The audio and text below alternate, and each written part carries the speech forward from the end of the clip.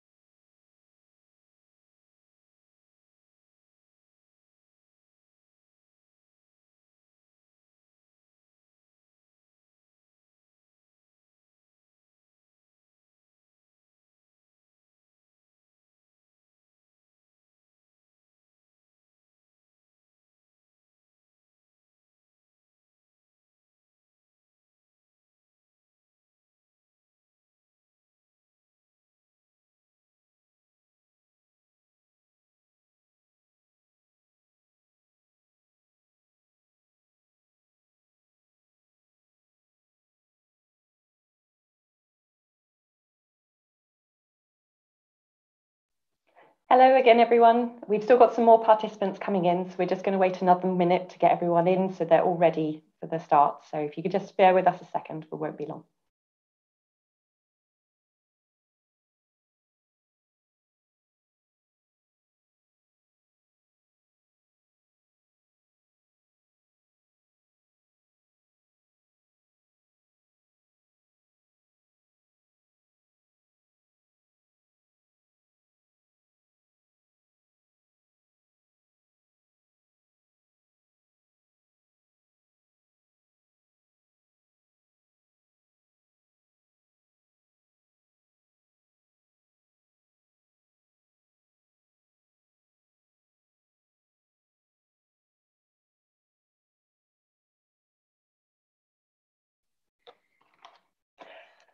Good afternoon, everyone. Uh, thank you for coming and welcome to this session of the BTO virtual conference this year.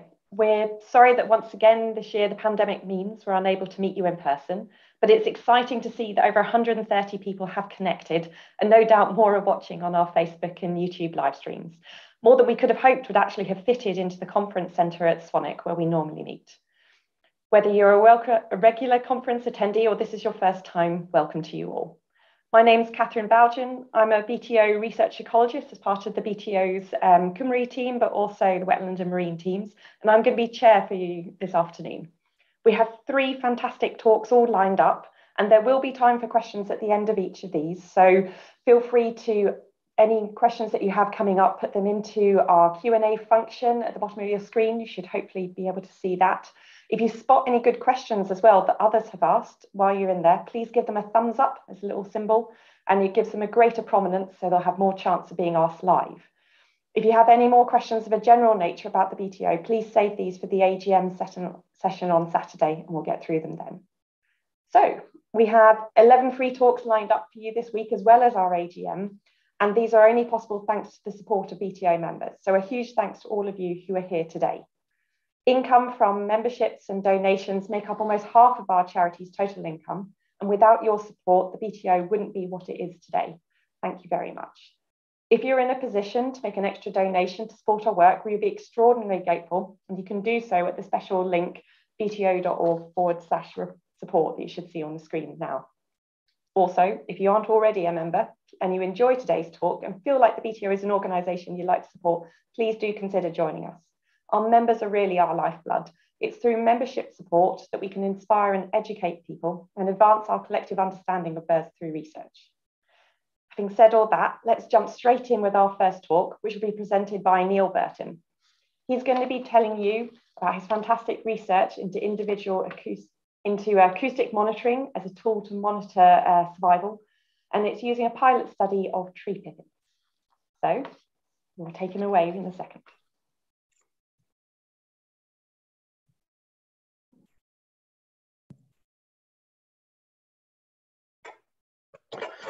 Hello. Okay, so yes, as Katharine said, I'm going to be talking about a novel technique, individual acoustic monitoring and how this might be used as a tool to monitor avian survival.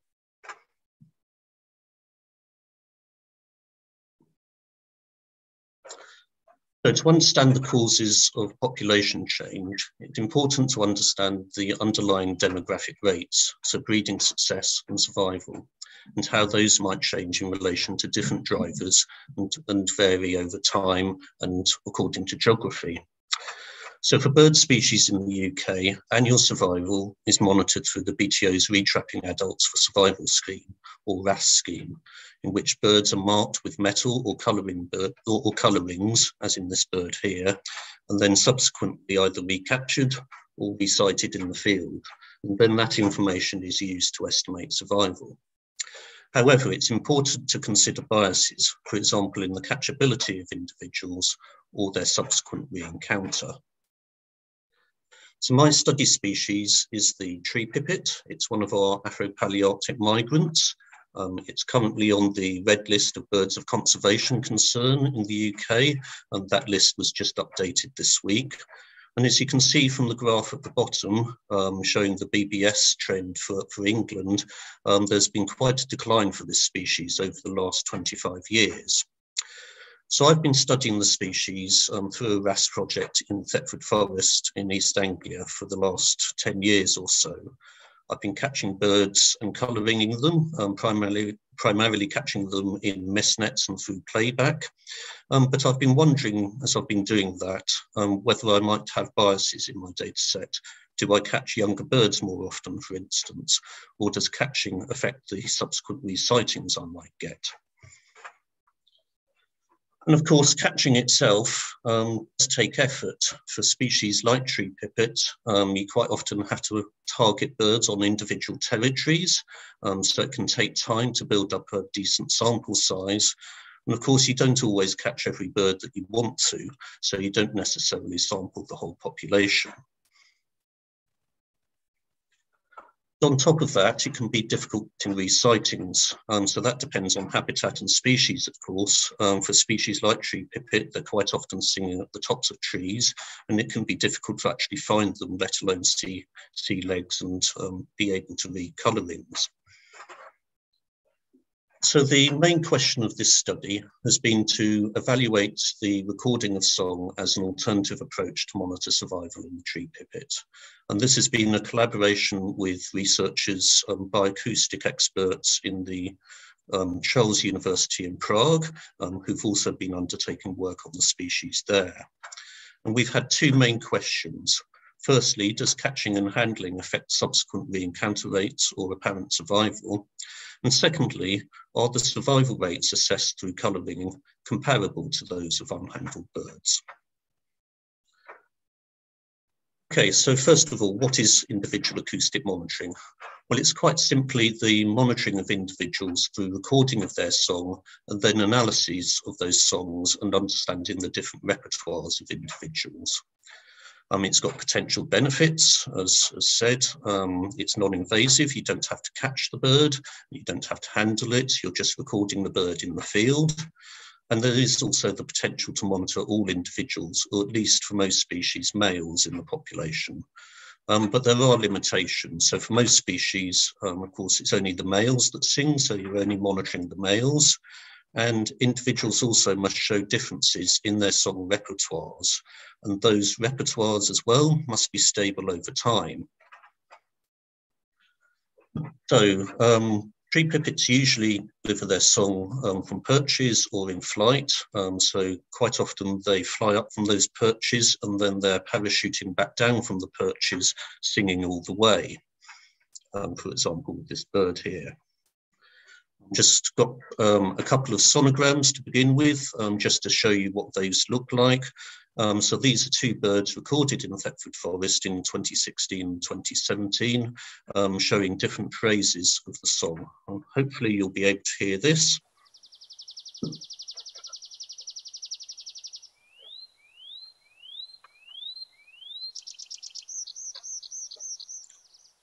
Um, so that's a typical song delivered in flight, showing different phrases along, along um, the length of that song. Um, in the second case, again, it's a song delivered in flight, um, but showing a number of um, more phrases within that song.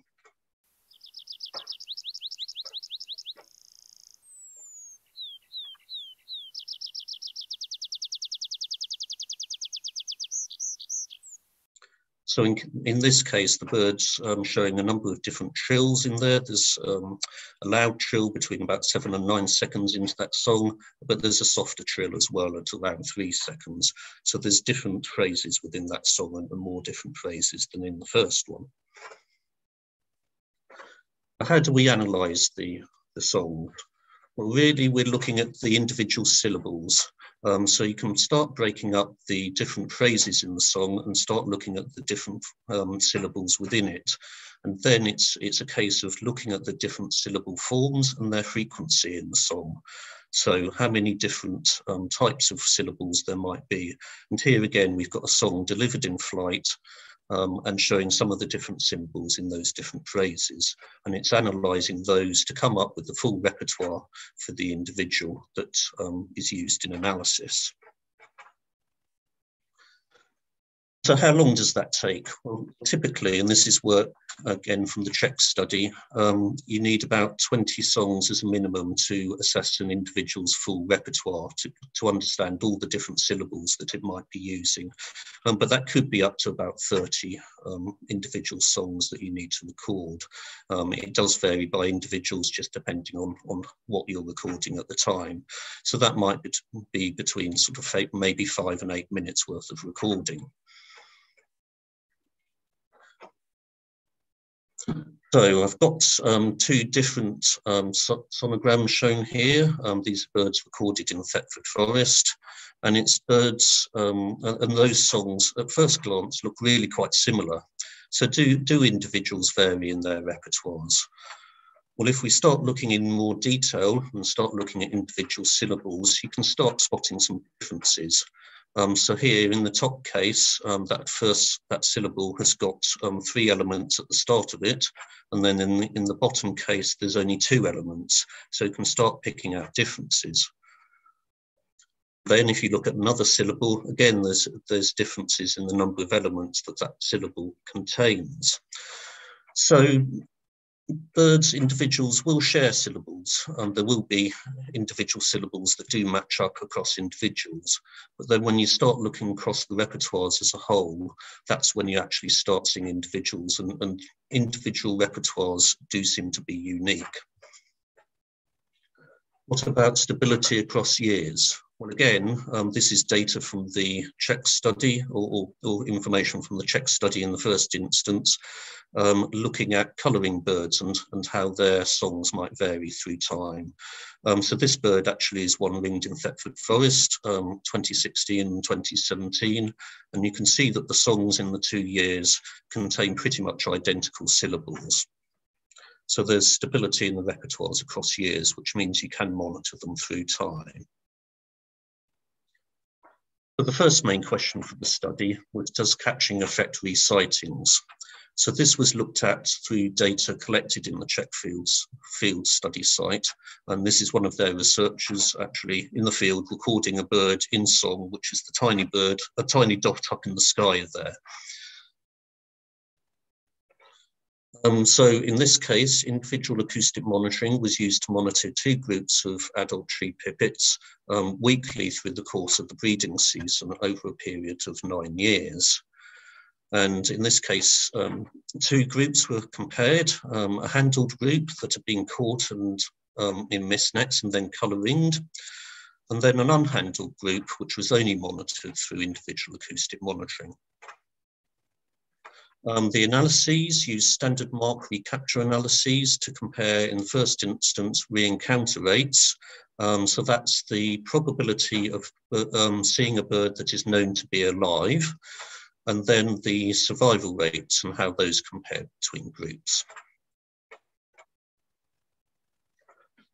So um, looking in the first instance at re-encounter rates, um, so this shows the re-encounter rates for both um, groups of birds over the course of the breeding season from April through to June and, and um, start of July. And you can see, first of all, that the re-encounter rates um, through individual acoustic monitoring decline through the course of the breeding season.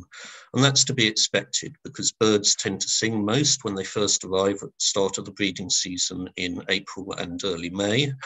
And then through the course of the breeding season, of course, birds get paired up, they start nesting and go, go a bit more quiet. Um, so that decline there really just reflects the song activity of the species. Um, but you can also see that there's differences between the two groups, between the unhandled and the handled birds. And in this case, the handled birds were actually um, recorded more frequently than the unhandled birds. If you look at survival rates, um, and this is this graph shows annual survival rates, um, but I've also analysed data just looking at the survival through the breeding season. Um, there's no difference in the survival rates um, between the two two groups, the handled birds and the unhandled birds, and the overall survival rate based on the individual acoustic monitoring um, is around 43% for this study site.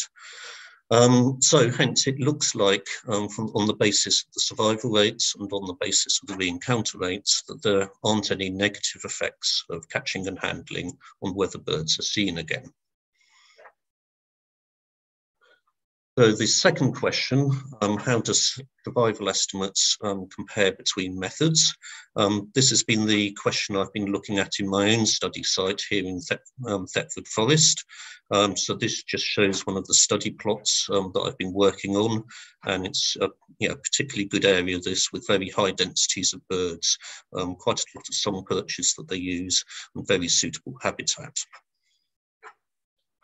Um, so again, um, I've been looking at this with um, independent samples of birds. Um, so independent samples of tree pipits monitored, in this case, each half month through the breeding season. Um, firstly using colour ringing um, from 2010 and then using individual acoustic monitoring from 2016. And I've essentially divided up the different areas that I that I have study plots on in the forest um, to be monitoring using one technique or the other.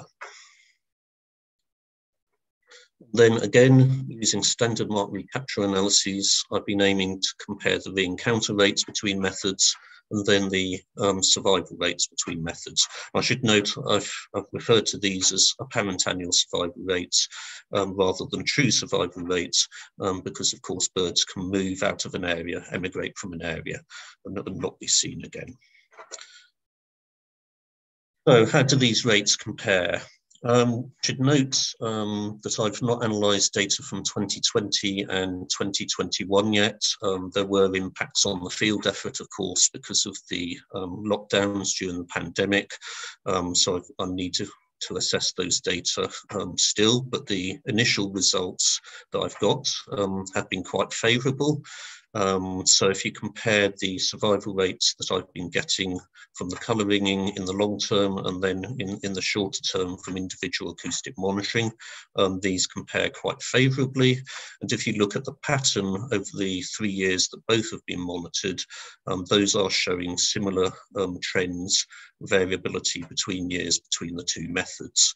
Um, so that's very reassuring that the methods are producing similar results. So overall, um, I think we can say that individual acoustic monitoring is proving an effective means to be able to monitor tree pipits and um, their survival. So individual tree pipits can be reliably identified by their song repertoires, and those repertoires are stable between years, enabling long-term monitoring. Catching and handling doesn't seem to negatively affect either their behaviour or survival. But there are differences in the re-encounter rates of handled and unhandled birds. Um, handled birds did seem to have high re-encounter rates, and that might suggest that colour ringing might be biased towards territorial ind individuals, so the ones that stay put um, through the breeding season, or at least those that might remain vocal through the season. So that might actually be unpaired birds rather than paired birds, but ones that stay put. Um, how do the survival estimates compare? Well, those preliminary analyses suggested no significant differences in the apparent survival rates through colour ringing and individual acoustic monitoring. And furthermore, the survival estimates produced from the studies um, from both techniques do actually match um, previous estimates reasonably well, which is, which is also reassuring. Um, so in conclusion, um, both colour ringing and individual acoustic monitoring do seem to be of value for long-term monitoring um, for survival, um, but it is important to understand those biases, whether you might be monitoring di different individuals. And that, that could work both ways, both with colour ringing and individual acoustic monitoring, which could be um, recording birds that don't actually stay put and move around a bit more. But individual acoustic monitoring is likely to be more representative of all birds, at least males, in a study population that use, use the study site. So what about the wider applicability? Um, well, individual acoustic monitoring at the moment, um, as I say, is limited to males. It's also limited to species with stable and individually unique vocalizations. Um, it has got some limitations, um, but the data collection is usually quite quick. Um, but on the other hand, um, the analyses of songs at the moment is quite a lengthy process. Um, so I've only recently um, got the full results for this season for, for data recorded back, back in the spring. Um, however, um, there is the potential for automated identification of individuals from recordings in the future. Um, that is something that a number of study groups are looking at. Um, so that's a development that um, could prove interesting and that could um, mean that the technique can be rolled out more widely. Of course, the other aspect to mention, of course, is that you do need equipment to be able to record birds. so that comes with some expense as well. I just wanted to add a couple of last slides um, just to show some of the additional research questions that the technique alongside colour ringing um, is being used to explore. Um, so this map shows the Czech study site um, with data from 2013 um, and looking at the territory dynamics and how that might relate, relate to pairing status or mating system. Um, so in this case, most of the territories were stable through the breeding season. Um, so that's the um, territories shown by the white um, symbols. Um, but about a third of the territories or a third of the birds were moving between territories over the course of the season. And that could be, for example, unpaired birds moving to different territories to try and find a female. Um, we've also seen from data um, here in the UK, and this is actually a colouring bird rather than one that was sound recorded, um, that birds actually might move between territories for different reasons. Um, so this bird was recorded over three years. Um, in the first year, it was moving between two different areas, um, singing, and then had a nest on one of those areas. Um, but in the second and third year, it um, used two different study plots within the area, and on both of those study plots, um, it had nests and with different females, and those nesting attempts actually overlapped. So in this case, the bird um, um had two females and, and, shown polygamy. So there's a number of reasons why birds might move between territories, and, that, and that's an additional question that we're trying to understand further with the technique. So I'll leave it there. Um, I'd just like to say thank you to all those in Prague, um, particularly Teresa, Hannah and Adam, um, others at the BTO that have helped in the study over the course of the last few years, um, all those at Forestry England that have helped with permissions and also for funding um, from Mark Constantine. So thank you. Thank you very much, Niall. That's really interesting. It's great to be able to see that all presented. Uh, we've had a number of questions for you, so if you're ready, we'll go ahead with some of those. Um, one of the first questions was, to what degree can acoustic monitoring be used to monitor more common species as an addition to the BTO's BBS? Um, yeah, so in, in this case, um, we're really looking at um, survival or trying to understand the movement rather than necessarily numbers. Um, so acoustic monitoring um, is being used more broadly to understand which species use areas. Um, so that's something that is being developed. One of the difficulties is, is understanding the numbers of birds you're recording. Um, so, so that's, that's a constraint potentially, um, but it does of course show presence absence. Um, in this case, um, as, as the recording is very much more targeted to the individuals, you're looking at the individual movements. Cool. And that kind of leads into one of the second questions, asking whether tree pipit's a particularly good candidate for individual songs, like how many other species would be appropriate for working in this method? Um, yes, I mean, it does depend on song. Um, interestingly, the Czech group, um, it's, it's, looked at a number of species, including different pipit species. Um, some other groups have looked at larks. Um, yellowhammer has actually been one that there's been a lot of research on. Um, but there can be variation even in species like um, chiffchaff, for instance. So the potential is there, but there, there will be some species with more simple songs where, where it will obviously be a constraint. Thank you. Um, we've got a question now from Facebook live stream. Um, very interesting, says Kay, but how will the IAM data be used, or indeed, can it even be used to find out why there's decline in tree pipits? Um, so at the moment, I'm focused on the survival rates. Um, so I'm hoping to do some analysis that brings all that together um, with the colour ringing to um, get uh, some results out, a paper out um, investigating those survival rates. And then it's, it's being um, considering those survival rates in relation to the population decline and to see whether actually changes in survival might be a cause of the population decline is, is the key question. Cool, thank you. So a slightly longer one here from Hilary on our Zoom. So she says, this is really interesting as I've been training young upcoming ornithologists and bird guides in Rwanda in acoustic recording of birds. On using playback, I steered them away from all but very limited use as it may disturb breeding birds or actually change their acoustic response from their regular songs or calls. What do you think about using playback in this context, she asks?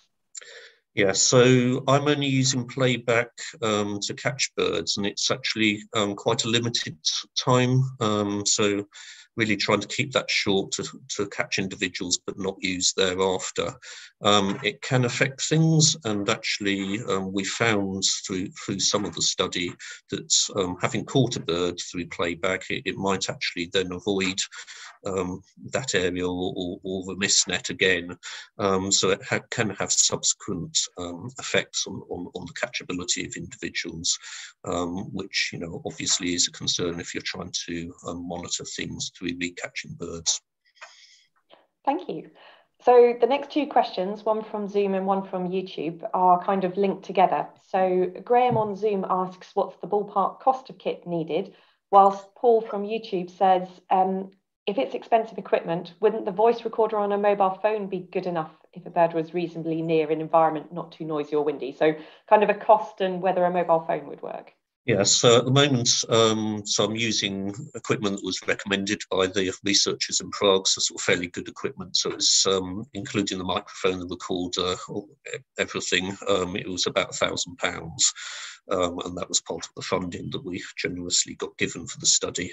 Um, I should say, actually, when I started this, I was using a back recorder um, borrowed from someone else at the BTO, and, and, just with a small handheld microphone, and that and that worked really effectively, actually.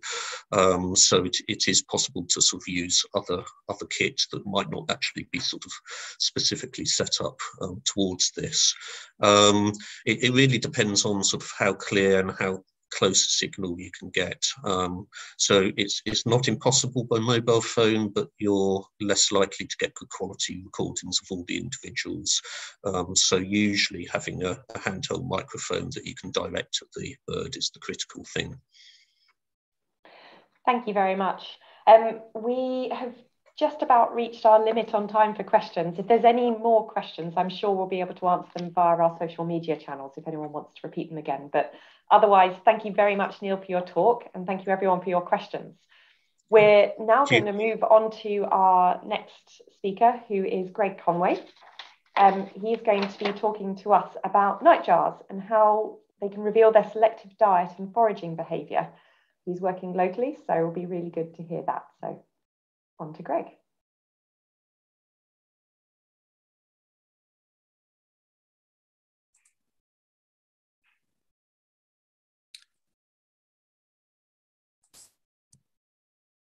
Good afternoon.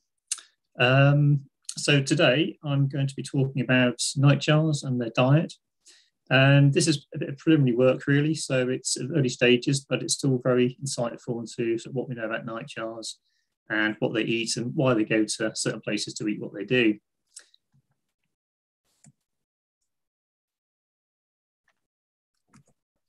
Greg, you just need to launch your screen share there.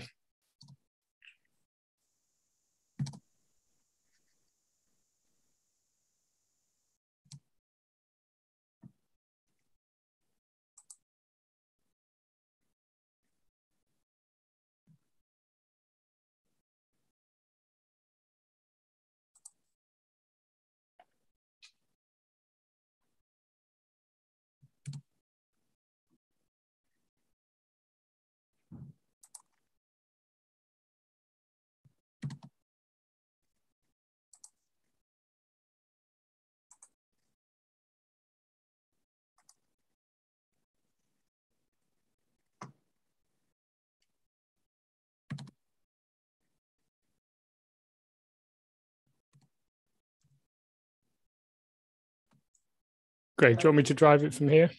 If you like, Nick. Yeah, I'm just having trouble finding the share button. It should be live there now, so you can just do the uh, commentary, Greg.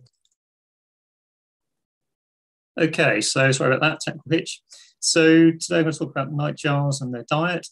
Um, and this is a big bit of work, really. It's collaborative. So just the bottom slide here, we can see it's uh, based on a paper that we've recently published. And that's with colleagues in Belgium who've got a similar study site to ours, and also researchers at Cambridge University. So it's quite a big undertaking and needs a big team to do it. And this um, actual paper can be downloaded free, actually, if you haven't seen that already. So the link is there, and I can forward that on to anyone who's interested later on so you can read it in a bit more detail. So really coming to the talk structure, so we'll initially look at nightjar biology and population trends, and then we'll look at other diet studies and what the limitations have been with those. And then why are we concerned about insect decline? We've heard a lot about that um, for other species, but nightjar being insectivore has also raised quite some major concerns. Well, a brief overview then of the main study aims and then come on to the methods which combine GPS tracking, moth trapping, and the DNA diet analysis. So combining the package into one um, strand is very powerful and very informative. And then we'll have a quick overview of the results and then the main conclusions. So going straight in then, just a little bit about nightjars. So we've got a shot here of Thetford Forest, one of our main study sites. And you can see the forest environment is made up of a mosaic of mature trees and then these paler patches, which are felled areas which then regrow with the nightjar's nest. So for those, they need bare ground on which to put their nests, and also obviously they're a, nocturnal species, mainly crepuscular, active at dawn and dusk, but effectively um, active through the night. So they need the bare ground in which to place their nests. So they typically have two eggs, and they'll have one to two breeding attempts per year. And then the chicks grow up and then they're fed on their of classic food, which is moth. So nightjar is very much a moth specialist, one of the of few British species which um, uses these items. So that sort of yeah, leads on to uh, their dependence on that food type. So coming back to the main nightjar population trends, so the species is more situated in the south of Britain. So from the bird atlas map here, we can see the pink areas are their established territory holding areas. The red arrow uh, triangles indicate where they've increased, but the grey triangles indicate where they've decreased. So they're very much um, confined to Britain and southern Britain now. Looking at the population trends based on Atlas work and also our annual or national nightjar surveys from 1981 onwards, we can see that although the population dips after the 1970s, it has made a very strong recovery and numbers are now back to sort of prior levels, if not slightly higher. So that all looks quite positive for you know insectivore, which um, uh, is doing pretty well for itself. But what we have found is that within certain sites that the population is going down. So here in Thetford Forest, over the last um, 10 to 15 years, we've found that there's been a 30% decrease in the number of birds nesting in the forest. We know this is partly due to the availability of felled habitat, which um, obviously rely on for nesting, But we know there are other areas in the forest which are open, but they're not actually used by nightjars for nesting, so they're not limited by habitat. So that then sort of um, raises a concern that the other factors responsible for that decline, and then food availability and breeding productivity are the other two. And that's one of the main areas we want to investigate in this um, talk today. So coming back to previous diet studies, so the nightjar has been studied pretty well. We'll see here that there's been studies right back to the 1920s and more recently into sort of, um, 2012. But these have really relied on dissection of fecal pellets, a bit like what you do with barn owl pellets, really to pull out all the bones and things of the prey. But for nightjar, as they eat mostly moths, um, a lot of the items that come out um, really result in sort of moth scale coming through, and very few sort of parts which you can actually use to identify the moths which they're eating. However, things like beetles, which are very chitinous and can survive the digestion process, they come through intact or in large pieces, which we can use to identify certainly the beetles down to family and species level. But everything else just goes through, and we don't really have an idea of you know what moth species they're favouring or what other insects they might be eating as well.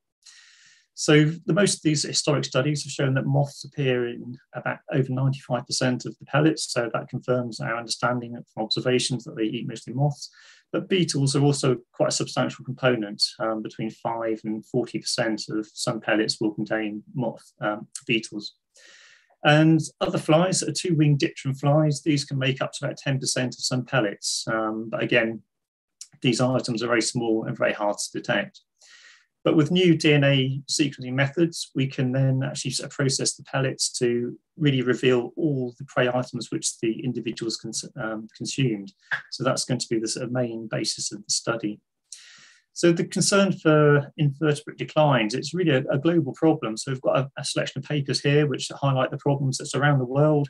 Um, pretty much all habitats were affected where they had invertebrate populations, and these declines have cut across the board in North America quite um, sharp patterns here from certainly on the east side. Um, and then more worryingly, this other paper from Germany, which investigated um, invertebrate populations on a number of their uh, sort of protected sites. So these are really high conservation value sites which have got adequate management. And even here on these top sites, there are quite substantial insect declines. So if it's happening on their protected sites, then on the less protected sites, the declines are likely to be even greater. So we're quite fortunate in Britain that um, through Butterfly Conservation and their annual moth monitoring, so we've got um, some really good data going back to uh, 50 years now. And what this has shown is a very steady and ongoing decline in the large, large moth population. So there's been regular monitoring at over 500 sites, and these are with standardized moth traps um, every year. And these have indicated a 33% drop in moths over the last 50 years. And that decline has been slightly greater in the south of Britain. So that ties in with the sort of nightjar's main breeding area. So where nightjars are most numerous, the declines in moths have also been the most severe. So that does raise potential concerns for the species in future. So the aims and objectives, so we want to determine the full range of prey uh, taken by nightjars, and that's where the DNA techniques come in and also try to understand which are the most important prey species, you know, whether certain moths are favoured and whether those moths are actually declining uh, more so than other moth species. So depending how vulnerable they might be. And also to investigate why in nightjars the foraging sites are located quite a distance away from the nest sites. Um, so in order to do that, we want to look at the prey communities. So we'd assume that the prey uh, community around the nest side is quite different to that away uh, compared to the foraging side. So that's one aspect we can look at in quite a bit of detail. And then also to look at the um, where the local population declines have occurred across southern England and to see whether this might be linked to food availability, which is one of the concerns we have here in Thetford Forest. So just looking at the study, so this is based on two study sites, one here in the UK in Thetford Forest and another in a comparable heathland site in Belgium. So again, they're quite wooded areas. And we've used both sites because they've got intensive um, population monitoring, monitoring nests, and also GPS tracking. and the habitats are quite comparable. Okay, there will be differences between the UK and the continental moth communities, but essentially we can look at the abundance of moths. We know what the birds are doing, where they're hunting, and we can make some good um, inferences between the two. And just to indicate the types of habitats, so nightjars will use sort of open heathery heathy habitat, as well as recently cleared forest habitats. And then the habitat which is really prime is when the trees are starting to regrow with bits of birch mixed in. And these habitats are quite similar between the two sites. So one of the main methods we use for studying nightjar to understand where they're foraging is using GPS tracking. So the bird here has a GPS tracker on its tail, which is a temporary mounting, and these are deployed for up to about a week. And each night, these will record locations every three to five minutes. As we'll see in a minute, this gives us a really detailed picture of where the birds move to, um, to collect their food in the evening and how they use the area around their nest sites and territories. And pretty much all these birds have been caught at nest sites. We know exactly where their nest is and we know where they've moved to um, in relation to their nests. And this has really revealed that most of the time is spent actually around the nest area. But at dawn and dusk, the birds do make a very rapid uh, flight to their main foraging areas where they feed for maybe five to 15 minutes and they seem to be able to collect a large amount of food there and then come back to the nesting area to spend the, nest, the night around there. So that's really quite useful to know what they do and where they go. This is quite complex, but this is um, a composite here to show the dots which indicate where the nest sites are, the coloured dots, and the corresponding colour with the um, area outline. So the yellow dot relates to these yellow um, outlines which indicate the foraging areas. And we can see pretty much in all the cases that these birds which nest in the forest come out off the edge of the forest into quite open grassy heathland and farmland to do most of their feeding and foraging. As you can see, some of these birds, um, not the blue dot, is moving over four kilometres each night, commuting backwards and forwards to its foraging area and back to its nest site. And also on this, we've indicated where our moth traps are. We'll come on to that in a minute, but we've got quite a good standardized design. So we put moth traps in the same locations, the same sort of clear fell areas as where the nightjars are nesting, and also onto the heathland sites as well. So we want to sort of capture the moth communities immediately around the nest site where they spend most of their time, but also on these foraging areas to understand whether the moth communities there might be different. And the grey lines in between are just the um, migration tracks, and you can see um, the very long lines indicate very fast flight speeds every two to three minutes, um, whereas they get around the nest sites and foraging areas, the um, sort of uh, angles are much tighter and the birds are spending more time there. So coming back to the moth trapping, so we've used quite some short range attraction moth traps, these heath traps. So they attract moths from about 30 meters so. We don't want to attract moths from kilometers away because we're really focused on what the moth community is immediately around the nest site or the foraging site. So it's very localized. And we'll deploy a number of these traps per night throughout June and into August, the main nightjar breeding period when the nightjars are either laying their eggs or have chicks in the nest. And using a standardized approach, we can then sample multiple habitats per night, and then we can take into account things like weather effects, which can obviously um, influence moth numbers. So that gives us standardized moth abundance data throughout the season at the breeding sites and the foraging sites. And where we've um, deployed them as well, so we've focused on the nesting area, which is the clear fell areas up to 15 years of age. Um, we've also got the intervening areas of habitat to mature forest, um, and then we've also got the foraging areas. So what we find is that the nightjars obviously go over the top of the mature forest, even though this might have most abundant um, moth uh, biomass within it, the nightjars just don't forage within it. So we don't really need to look at that in terms of our comparison. So in terms of um, actual moth trapping, we've just focused on the nesting areas and the foraging areas where they spend pretty much all of their time. So fecal sample collection for nightjar is quite um, straightforward, really. These chicks here, they they pretty much stay in the same spot on bare ground, and you can see that just below the chicks and to the right, they've got an ample supply of fecal pellets. So this makes life very easy. We can just come along to the nest at various stages during the season when we're doing regular monitoring and collect maybe between sort of 10 and 20 pellets. As long as the weather's dry, we can sort of collect these items which have been on the ground for maybe a week or two weeks or more. Um, so it's only in wet weather where they deteriorate. So then we can sort of collect up lots of these little things. They're quite weird little um, blobs, really like little of coils of rope all sort of bound together. Um, and once they're dried, they sort of preserve very well and they hold the DNA well. And they're fine then to be frozen prior to um, preparation analysis. So the actual sort of DNA analysis process itself is fairly um, sort of technical. So you start off with the actual poo itself. Um, you put this into a solution then to release the DNA within it. then we compare the actual DNA within the samples with libraries of other likely prey items. And then using this other technique called high throughput sequencing, we can just take the whole sample and process it to get out all the DNA strands within that sample.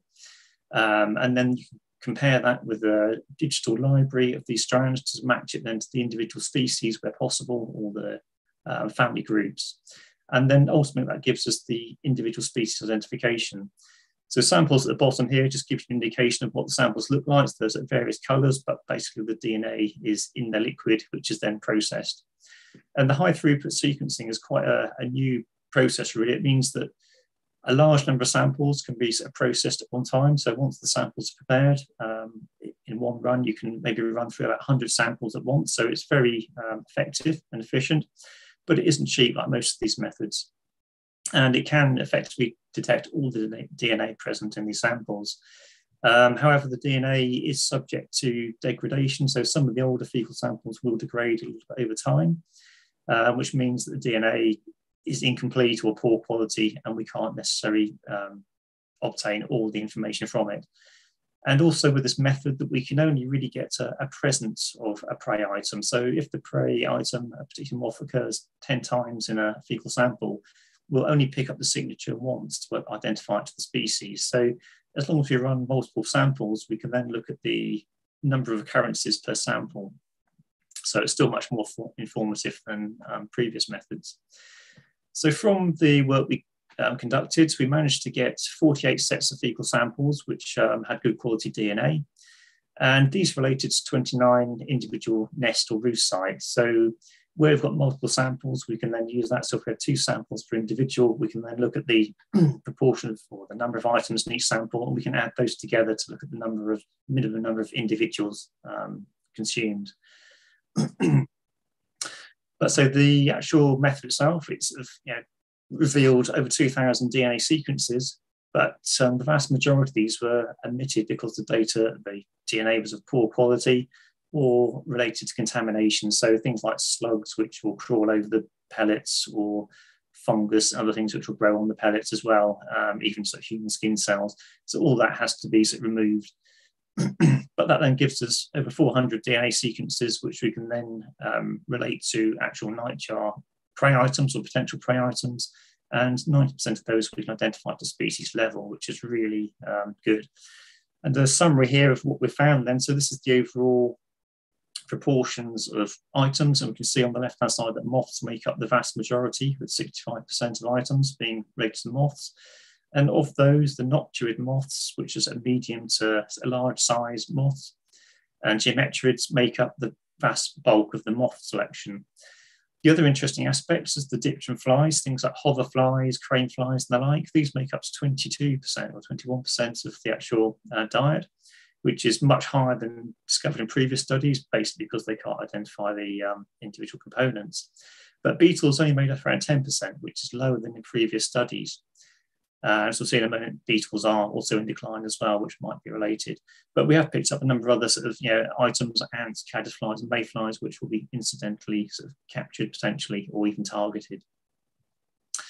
So this is where it gets a more technical now. So based on the DNA samples themselves, what we've done is broken down the um, diet items from the DNA. This is just focused on the moths so we're looking at different um, size um, categories, so some 1 to 10. And at the bottom here, you can see they relate to size 1 is like a, a wing length of less than 10 millimeters up to the category 10, which is a wing length greater than 25.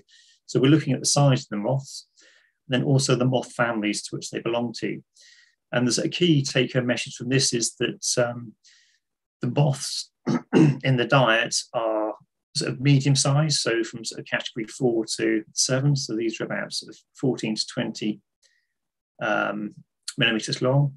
And the dark green indicates that the noctuid moths are the most frequent in both these sites and in the diet itself, as well as the other species. then coming on to the comparison then between the actual nesting sites and the foraging sites. So again, we've got a similar type of plot. So we're looking here at the moths in the various size categories. and looking at nesting habitat first, so the um, site in Belgium, Bosland, we find that um, the Arctiidae, which are the tiger moth type family, make up the vast majority of the moths there, but then it's the noctuids, the dark greens, which are more frequent. And then in Thetford, we've got a similar pattern, but the noctuids are certainly the most um, abundant there. But we have other things which are, we've grouped together as the micro moths, which are the grey column on the far left. So these are very small items, but there are lots of them. Um, and these make up a, a, a, good proportion of the moths actually present in the site. And these weren't actually recorded in the Belgium site. So then we want to compare that then to the moths in the foraging area. So our expectation is that um, as they go to these foraging areas, there must be something different about those foraging areas to make them go all the way, you know, two or three kilometres across the forest to forage. and what we find there is that generally the moth communities are pretty much a mirror image of what we find in the breeding sites, but we are finding a greater proportion of noctuid moths, more obvious in the Belgium sites, actually, especially when there's categories of, of size of three to five, uh, but similarly so in Thetford Forest as well.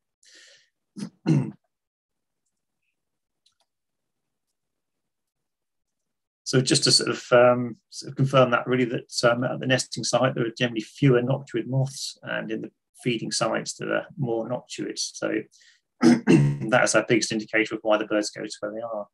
So it's more sort of technical sort of um, plots here, I'm afraid. So again, we're looking at their preference um, in terms of we know what moths are available in the background, nesting and breeding habitat, and we're looking at the frequency of how much they occur in the diet compared with what's available. So if something's very abundant, we'd expect that to occur in the diet more often than something which is rarer.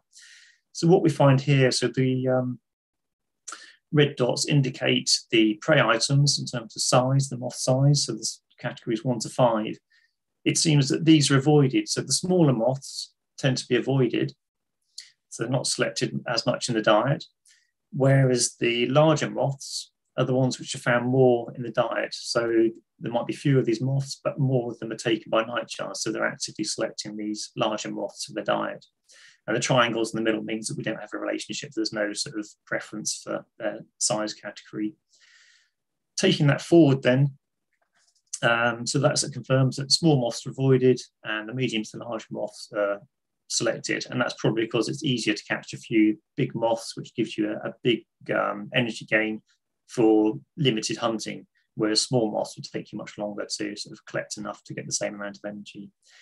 Taking that forward then to the actual um, families themselves. This is a bit more technical, so it's the same as the previous one. We've got the size category up the side, but we've also got all the individual families here noted as well.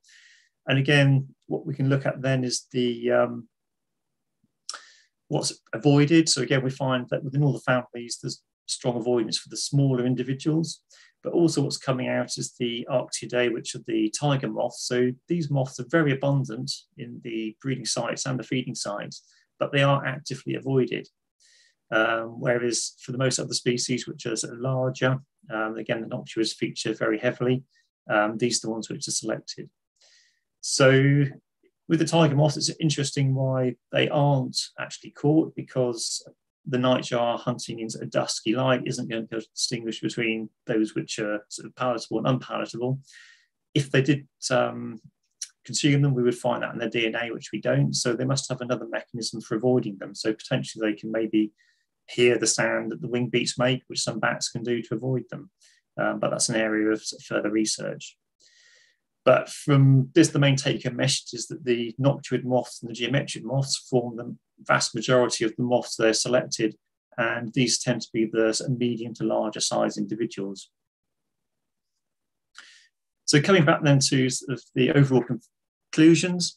So moths make up 65% of the diet based on the DNA. So this isn't um, exhaustively um, number of items. This is just the frequency of moths in the samples. Um, so that confirms with the studies that moths are the main prey item.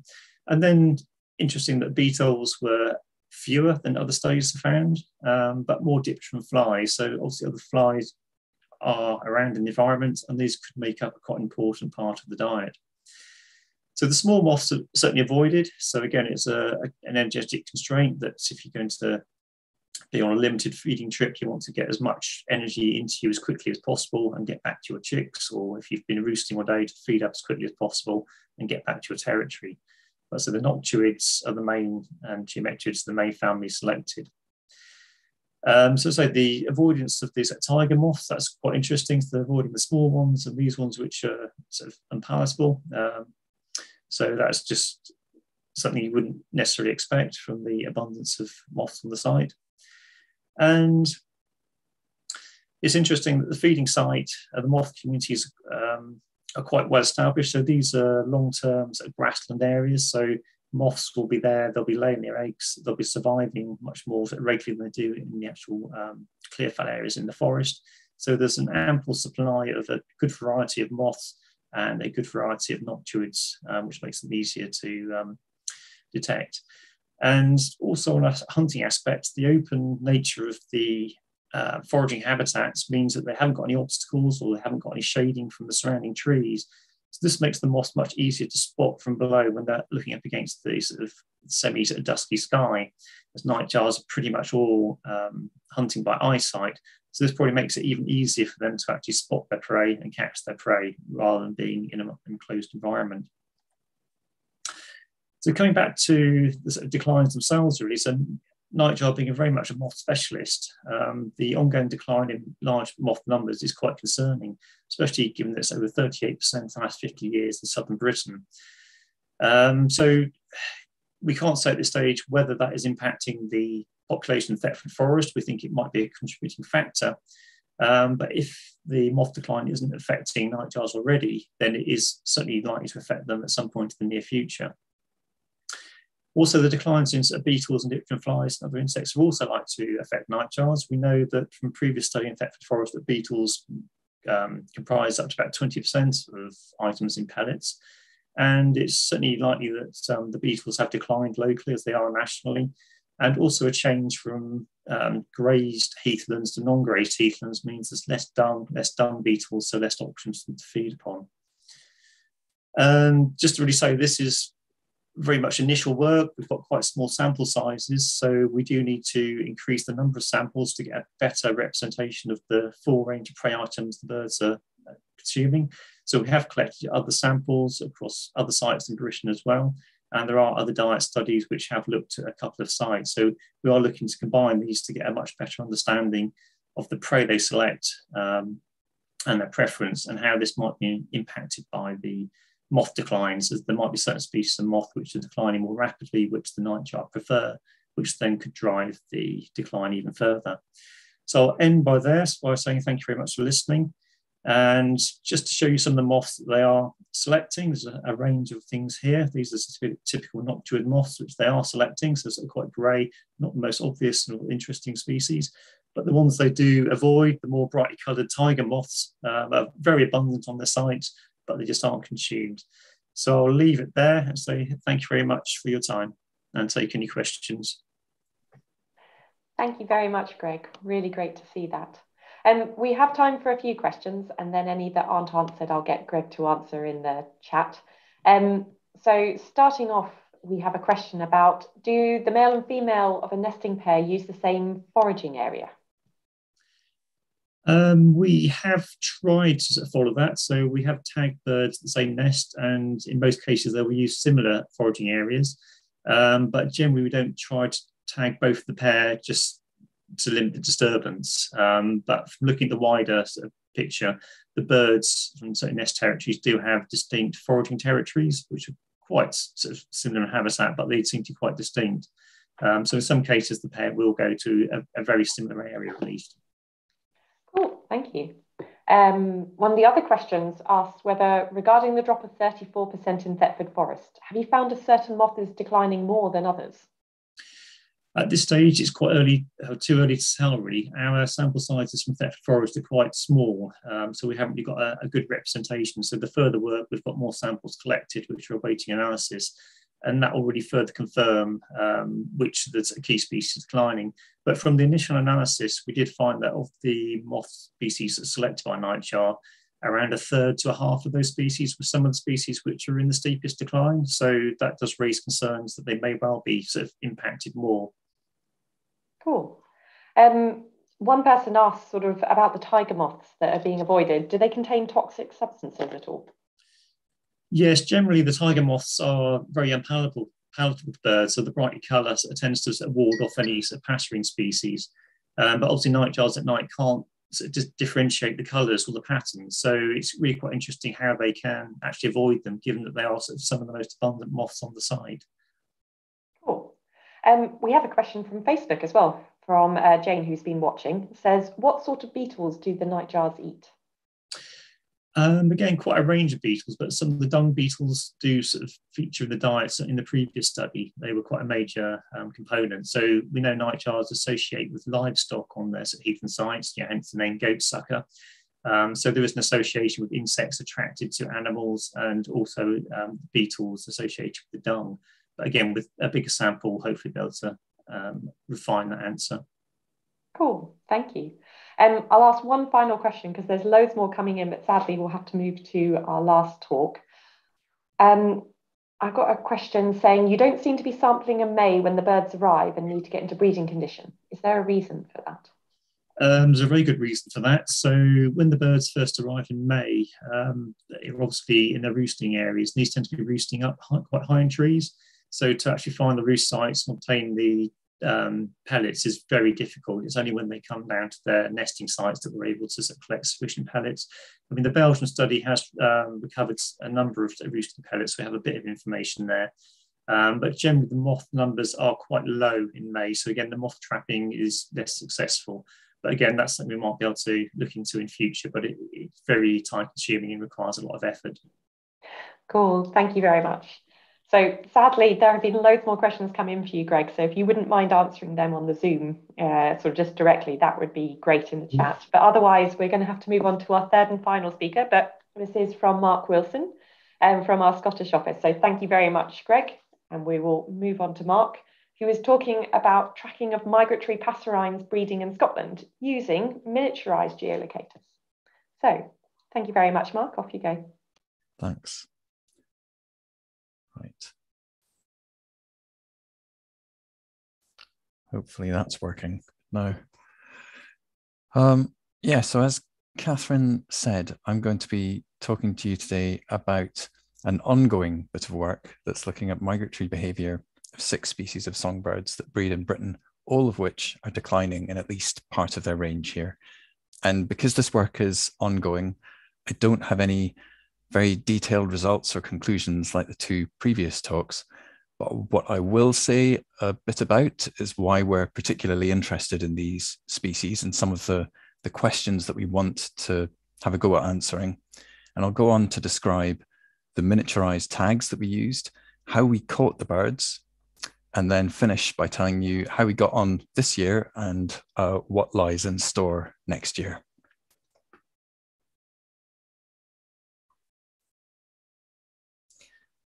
So this graph is taken from Nancy Ockendon's excellent 2012 paper on patterns in migrant bird population trends. And it shows that our migrants span a range of different trends from disastrously negative at the turtle dove end of the spectrum to very positive up with chiffchaffs and blackcaps. And the work I'm presenting today focuses on six species which are camped uh, mostly at the declining end of the spectrum.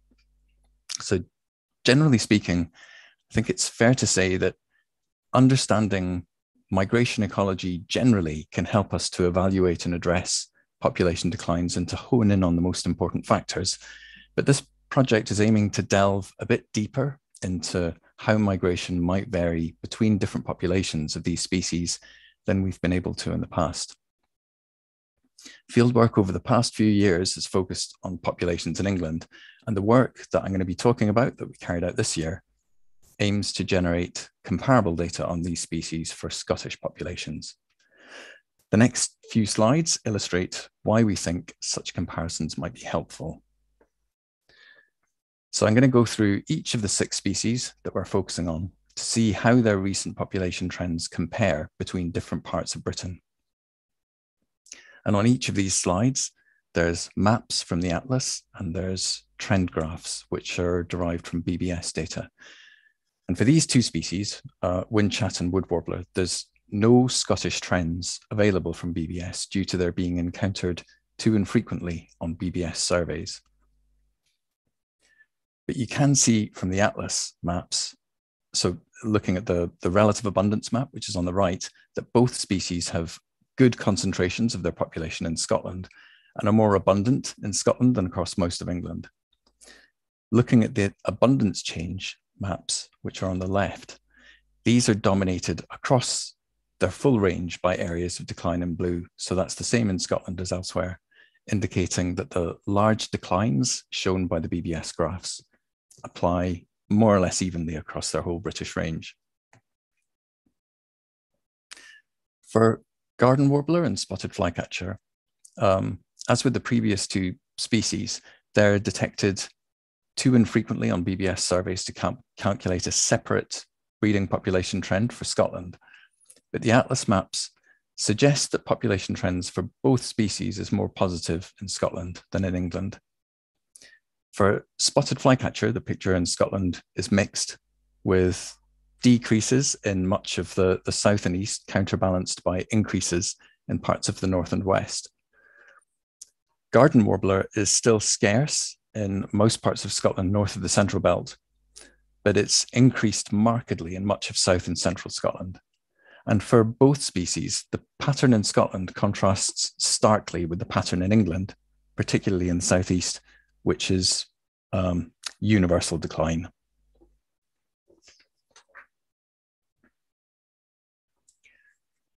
For the last two species, enough willow warblers and tree pipits are detected on BBS surveys to produce separate trends for both Scotland and England. And as you can see from those trends on the right-hand side of the slide, and also from the, the Atlas abundance change maps, willow warbler and tree pipits are, are doing much better in Scotland than in most parts of England.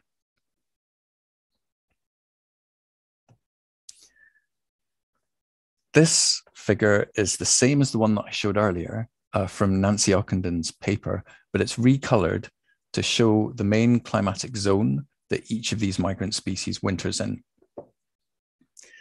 Many of the species with populations that have declined in recent decades spend their winters in the humid zone of sub Saharan Africa. So that's areas where annual rainfall tends to average more than one meter. All six of the species that we're focusing on, which are these are the ones that are outlined in red, and they've got red arrows pointing at them as well. They're all humid zone migrants. And understanding whether populations from different parts of Britain vary in their migration behavior could help us to understand why they're declining more in some regions than in others.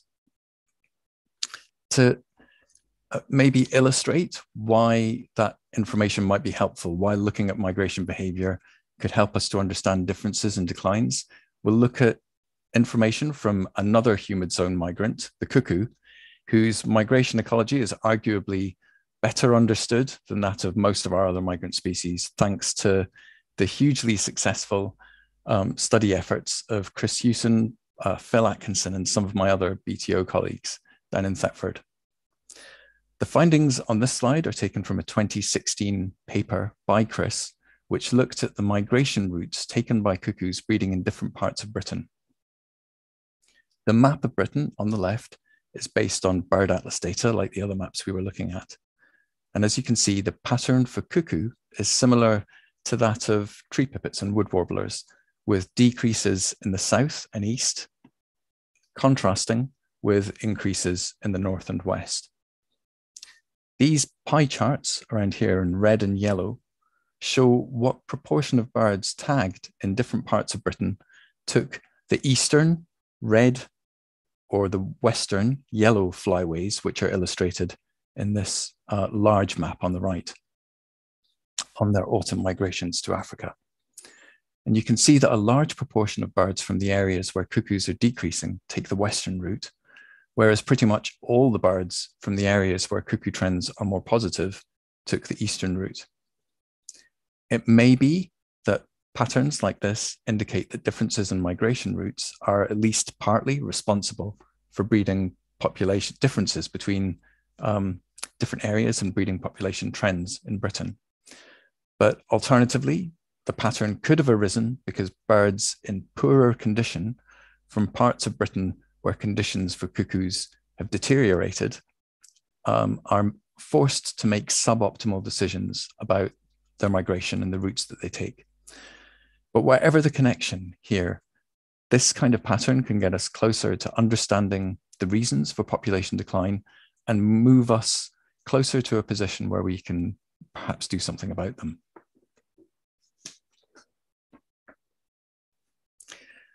So I'll, I'll tell you a little bit about the tags that we used. We weren't able to use the, the tags that were used by Chris and others to study cuckoos because they'd be way too big to study the species that we were working on. We used far smaller tags called geolocators, which are quite simple in principle, but still very clever. So just by recording light levels every few minutes, the geolocators collect data that can be used to work out the tag's position on Earth each day. Basically, day length, which is derived from the light level recordings, is used to work out latitude. So that's where, where the tag is on a north south axis. While the timing of solar midday, that's roughly equivalent to time zone, you can think of it as, is used to work out longitude, where they are east to west. Positions collected and worked out from geolocator data aren't very precise, um, much less precise than GPS tags, which can get you down to kind of meter levels of precision. Geolocator tags, we're talking more about hundreds of kilometers of precision, which would be useless for looking at short scale movements. So, for instance, looking at habitat use on breeding grounds, but it's actually fine for looking at um, collecting information that can be used to look at migration, timing, routes, and destinations. Those kind of things uh, pan out over thousands of kilometers. So 100 kilometers here or there isn't too important. The tags were attached to birds via simple leg loop harnesses, which are made of a slightly elasticated material, and you can see that in the photo there. And the total weight of the tag and the harness was within 4% of the body weight of the smaller species, that's wood and willow warblers, and well under 3% for the other species. The battery life varies a bit from unit to unit, but it should be enough to allow devices to capture autumn and spring migrations, as well as any large movements made over the winter. And one other important aspect of these tags is that they are archival, which means that all of the information they collect is stored on the tag itself. And that in order to get that information back, we're going to have to cap capture the birds again. Most of our field work was carried out in May and June of this year, and it was largely restricted to central Scotland, focusing particularly on sites in the hill ranges of the Trossachs and the Ochils, but opportunistically taking in other sites as these became available to us. And for most species, we targeted singing males, luring them into mist nets, which are pictured on the slide here, using playback of their song. And that worked really well for most species but not for spotted flycatchers. So we had to use a different approach for these. And guided by the experience of our colleagues who had tagged spotted flycatchers over the past couple of years in England, we took advantage of their habit of returning to particular perches. Um, and we did also use mist nets when the opportunity arose, but mostly we caught these birds in traps that are called perch traps. And for those of you that aren't familiar with these, I will explain how these work in a little bit. Um, spotted flycatchers did occur in good numbers in some of our main woodland study sites, for instance, in the Trossachs. But in those areas, they tend to spend a lot of their time high in the canopy where they would be very hard to catch with perch traps or via any other technique. So we focused on birds nesting in relatively open areas, mostly gardens, which we found by putting out a call for information to the wider public.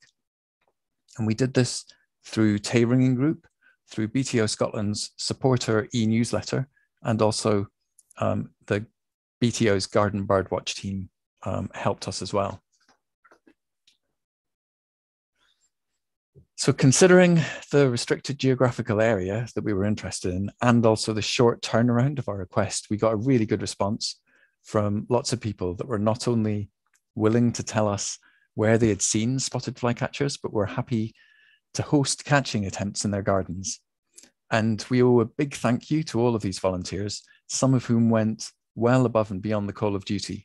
So uh, they took us around different nests, they helped us with catching, they brought us tea and refreshments, um, and a, a few spotted flycatcher hosts took the hosting quite literally and offered us places to stay for the night.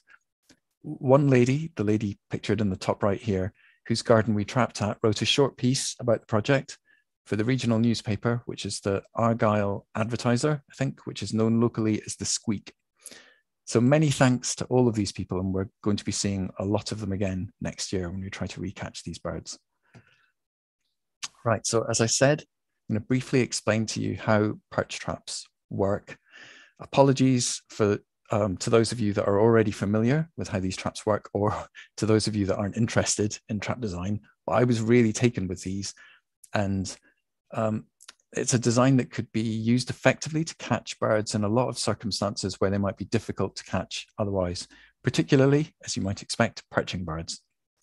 So the basic structure, as illustrated here, is of two light metal frames, which are loosely fitted with one and a half centimeter mesh, which is uh, net netting. And these are joined together along one side to a hinged central bar. And that hinge is sprung so that, as shown in the left-hand picture here, the two panels want to close together above the bar in the direction shown by the blue arrows. But they're held downwards in a closed position by a loop of thread which is attached to the central bar and brought around tightly, holding the two panels closed against the force of the spring, as shown here, so that the last big, the last bit of the loop comes back to the bar on the other side. And this is a close up of the central bar showing how that loop that's holding the panels together is held in place. So there's a short metal seesaw kind of a thing which is attached to the bar with a short pin at one end that holds that loop in place. And to the other end of the seesaw is attached a twig that you have to select um, to look as far as you can tell like a temptingly attractive perch. And once we'd set the perch trap um, up, we usually put it on the end of a pole in a position close to and preferably slightly above a perch that the bird that we were trying to catch had been seen to use. And if the bird agrees with your assessment of the new perch's attractiveness, the idea is that it lands on it, and this moves the perch end of the seesaw down, which moves the pin up, releasing the end of the looped thread and allowing the trap to close. And the bird is then extracted from the trap in much the same way as you would extract a bird from a, a normal mist net.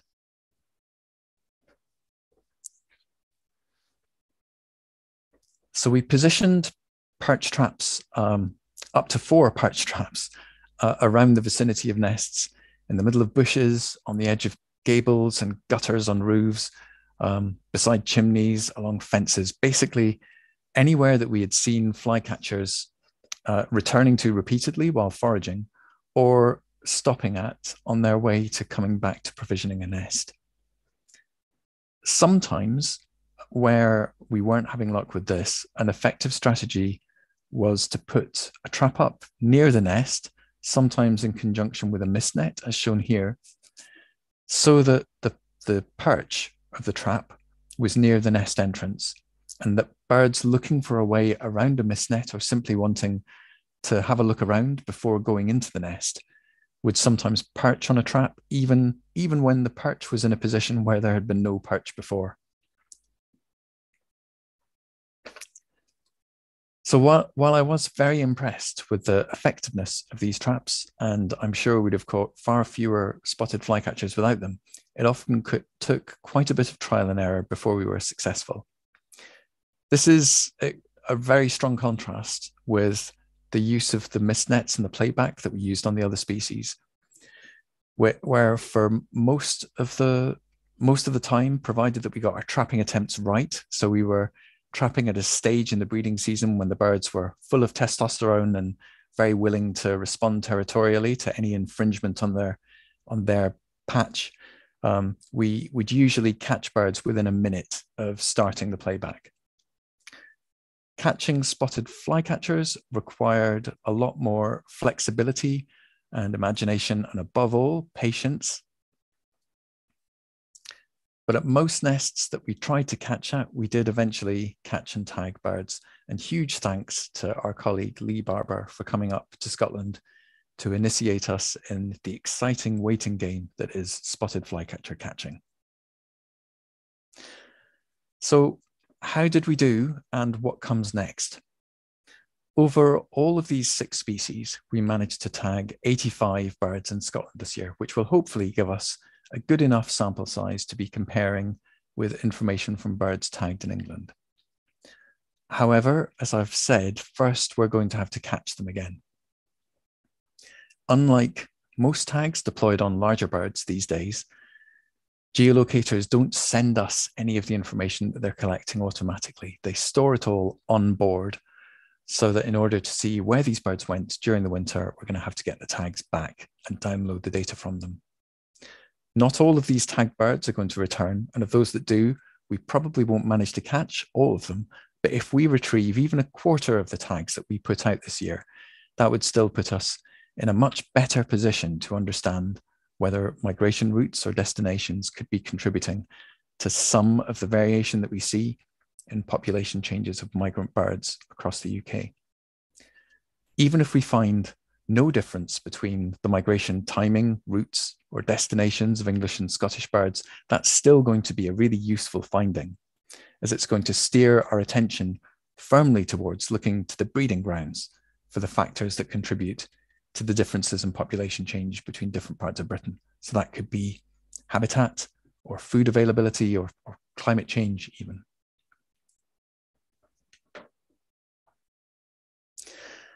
Thanks are owed to a lot of people for the work that I've just talked about. These include the funders, um, the project organizer, Chris Hewson, a small army of BTO staff, many of whom gave up a lot of their free time to help with the project, volunteers um, from a, a wide suite of different people in the BTO's audience helped with almost every aspect of the project, from providing information and logistical support through to catching and tagging. BTO staff also really helped with making that volunteer participation possible. And there were a range of organizations and individuals that gave us access to land for fieldwork. Thanks and apologies to anybody that I've omitted to mention here, and thanks to all of you for listening. Thank you very much, Mark. That was really good. It's amazing to see what's going on with that. Um, you've got a number of questions, so um, I'm going to jump right into them if you're ready. Um, yep. The first one from Aileen asks, what's the cost of the tags? Uh, these tags, I think I, I haven't been the one that purchased them, but I think these tags cost in the range of um, about 100 pounds. that There or thereabouts, maybe a little bit more. So they're quite cheap in relation to see a lot of GPS tags. Um, but yeah, the, the downside is that we're going to have to go again next year to get the tags back. No worries. Thank you. Um, Kanishka asks, is there any risk to the birds from the perch trap, I being um, struck by the bars at all?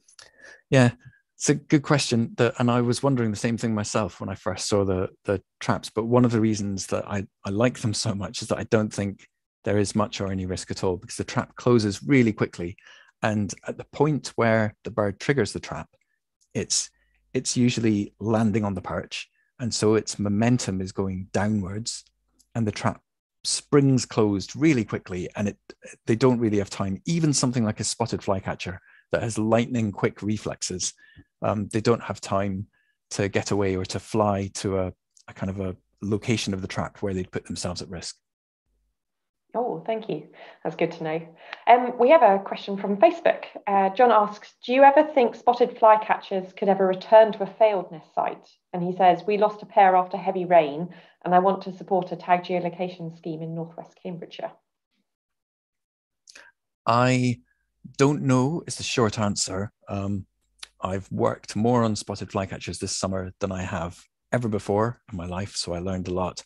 I think um, the best thing to do would be to get in touch with colleagues of mine who have worked on spotted flycatchers over several years. And the name that is springing to my mind is Lee Barber. Again, he knows a huge amount about nesting birds in general, having been closely involved with the, the nest record scheme and ringing schemes. And yeah, he would almost certainly know the answer to that. Brilliant. Well, uh, he's available to be contacted via our website. If you search for him, he'll be part of the ringing teams there.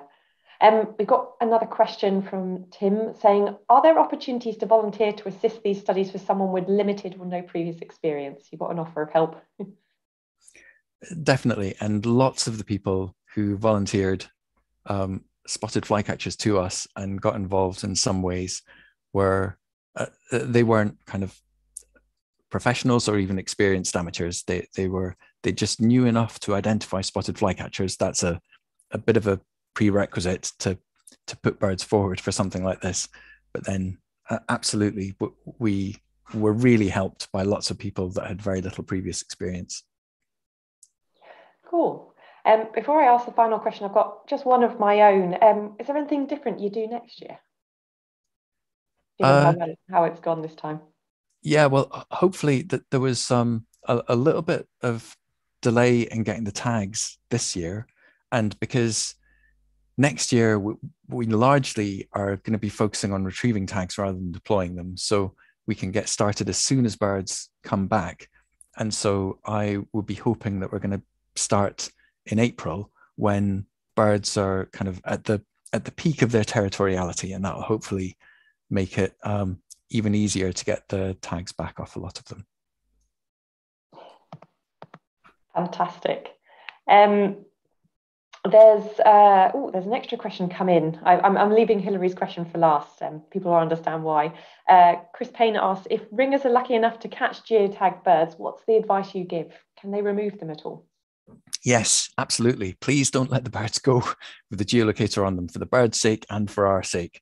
So um, the best thing to do, rather than just assuming that the tags will belong to us, the best thing to do will be to contact the ringing scheme, having taken that tag off in the spring. I've just I've just thought the reason that I'm speaking more slowly now is because I've just thought if you're if you're fairly certain that this isn't a tag that will have just been put on by somebody so if the birds are coming back in the spring i think it's unlikely that these are going to be just freshly put on if they're geolocators that look like the one that i showed in my talk i think you can take them off in the spring and get in touch with the ringing unit and see what the history of the ringed bird was and that'll tell you who to get in touch with to get the tag back Thank you very much, Mark. So the final question is, where is the magnificent Highland cow? ah, um, yeah, that was at one of our uh, catching sites. Um, spotted flycatchers have very good taste, it turns out, in the, the gardens that they choose to nest in. They're, they're usually nice, big, well-appointed gardens. And um, the, the, there's a trap just in front of it because we'd seen the bird using that uh, perching on the horns of that Highland cow. And uh, yeah, of course, when, once we put the perch there, it, it didn't even look at it, but um, that was our idea. Fantastic.